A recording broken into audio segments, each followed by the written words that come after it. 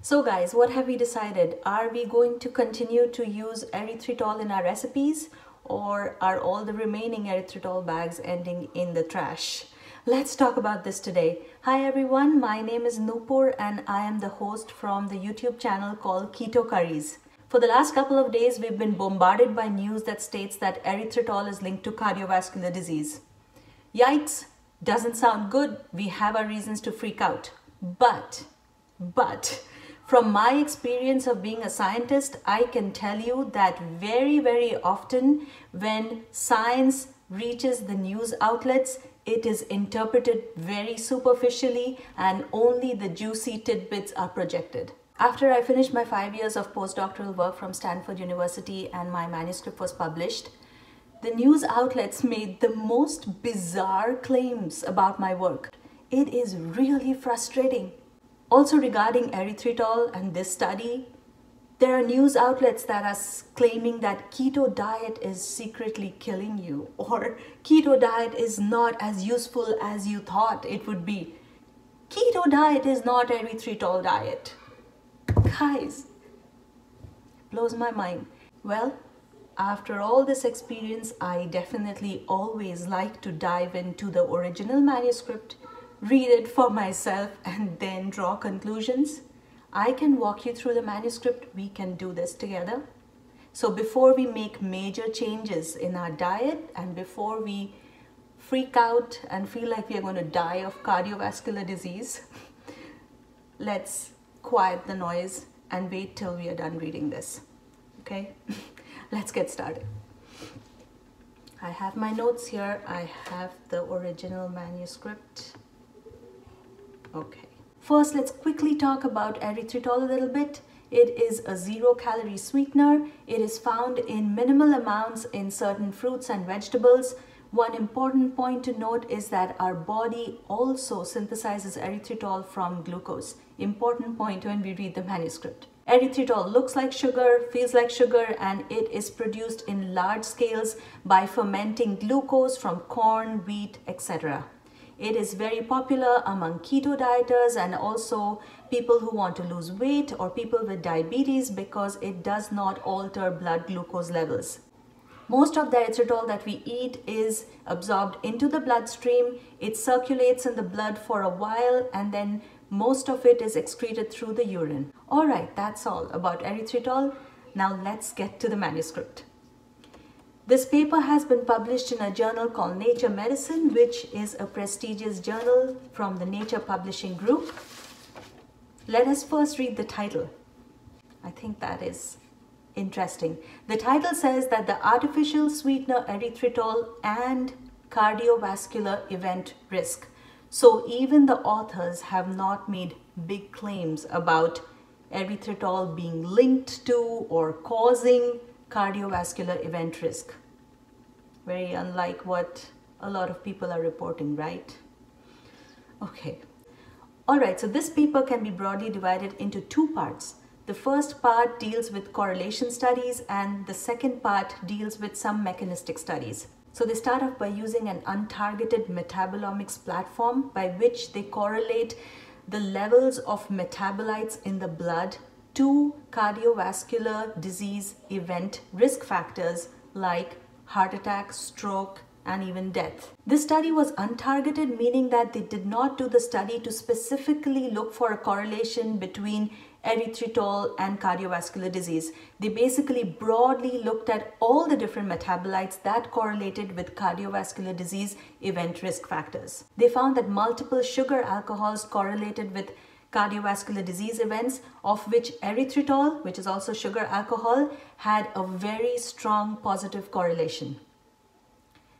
In simple terms, people with a high prevalence of cardiovascular disease were found to have higher erythritol in their blood. One important point to note is that this study was done in patients that already had high cardiovascular disease risk factors for example, there were patients that were diabetic, they were obese, uh, there, were, there were smokers, they were patients with high cholesterol, etc. So these patients already had metabolic diseases. Important point to note. So looking at this fraction of the data, I suppose This was enough information for the media outlets to say that erythritol is linked to cardiovascular disease. Wait, not so fast. Let's look at the caveats here. We are interested in knowing whether consuming erythritol is linked to cardiovascular disease, isn't it? Here, there is no information about whether these patients consumed any erythritol at all before their blood was drawn. And I mentioned to you before that erythritol is also synthesized in our bodies from glucose. And it is very possible that given that these patients had metabolic diseases to start with, that their bodies could be producing more erythritol in their blood and that it is not coming from the erythritol that they have may or may not have consumed. Do I make sense? Second point, it is impossible from a correlation study to draw a conclusion about causation. For example, high cardiovascular disease risk, high erythritol. Is erythritol causing this? I don't know. It could be that because you have a high cardiovascular risk, your body is generating more of this and that this is merely a marker to show that you have a high cardiovascular risk. Okay, so done with the first part of the manuscript. Are we freaking out a little less? Let's take a deep breath and continue. The next part is the mechanistic part of the paper. So because they found a positive correlation of erythritol with a thrombotic disease, meaning a disease where blood clots are involved. They wanted to test whether erythritol can impact platelet function. As you know, platelets are one of the major players in blood clot formation. So that seems like a reasonable thing to test. And they tested this um, using in vitro experiments, meaning in test tubes and, and plates in the lab. And they also used a, a mouse model. We'll talk about this one by one. For their in vitro experiments, they used platelet-rich plasma, basically the fraction of the blood that is high in platelets. They used this from healthy volunteers. And then they added a stimulus that would basically encourage clot formation. And what this what they show is that when erythritol is added to the platelets, the blood clot formation is a lot faster and a lot more. They also showed that erythritol can directly activate platelets and they also did experiments using whole blood where they could show that erythritol does increase blood clot formation. In their in vivo experiment, meaning their experiment using a mouse model, they used a model where they injured the artery of a mouse and then they they gave erythritol to the mouse and tested whether the blood was clotting faster. And indeed, they did see that. All good. This is all good. But keep in mind, this is in vitro, basically done in a plate and test tube and also done in mice.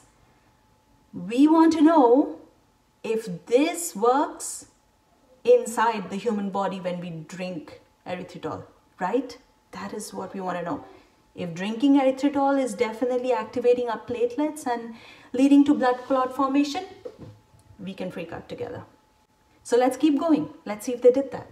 So they took eight healthy participants and gave them a drink that was that had erythritol. It had 30 grams of erythritol, which which is a lot, but they said that that is comparable to a pint of keto ice cream and also comparable to commercially available artificially sweetened drinks.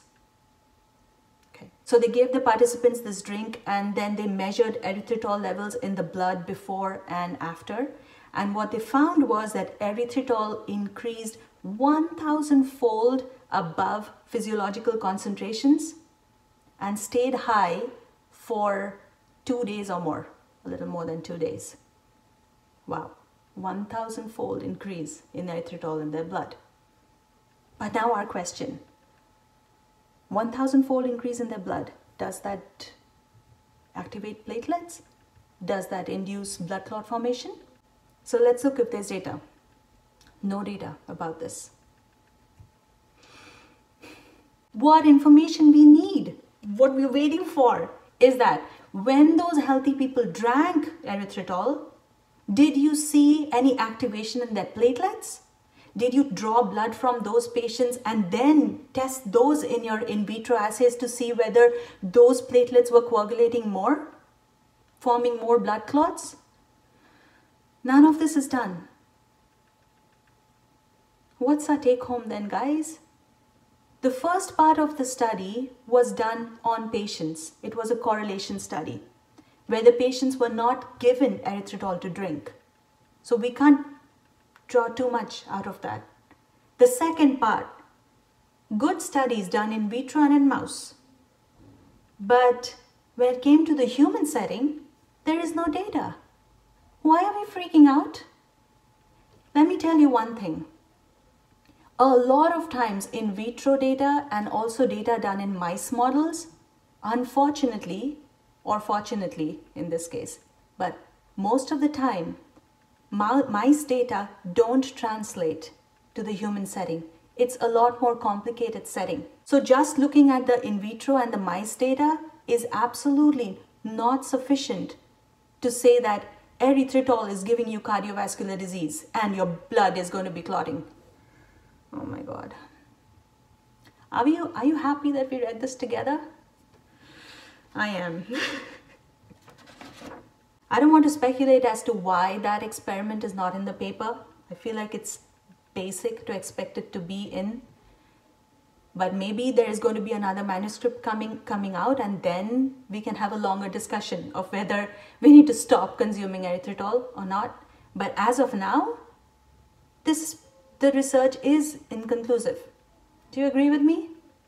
What we need are, are those experiments that we talked about and also some long-term studies on the effects of erythritol consumption would be very helpful. Guys, now do you realize how much damage the media can cause?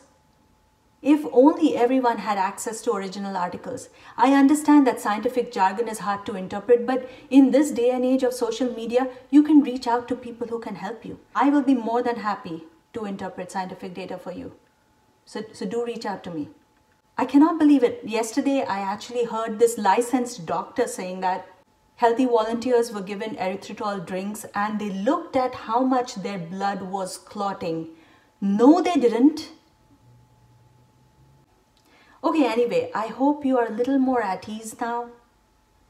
And let's talk about what we should do moving forward regarding erythritol. Based on this paper, I would not jump to the conclusion that erythritol is going to give me cardiovascular disease and I need to stop it. I, I wouldn't. But something did stand out for me from this paper. They say that when, when participants took 30 grams of er-, erythritol, their blood levels shot up 1,000 times. That's a lot, guys. I don't think we should overdo something to the point that levels are shooting up 1,000 fold in the blood. So, so how do we solve this problem? I feel like it's not a bad idea to cut back on erythritol or any artificial sweetener for that matter. We don't need to have that much sweet, right? That much. But, okay, to, to put this in context, one teaspoon of erythritol is, is four grams.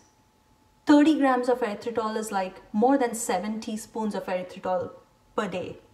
That's a lot. If you're having two cups of coffee and, and or tea and you're adding half a teaspoon or one teaspoon of erythritol, let's consider half a teaspoon of erythritol.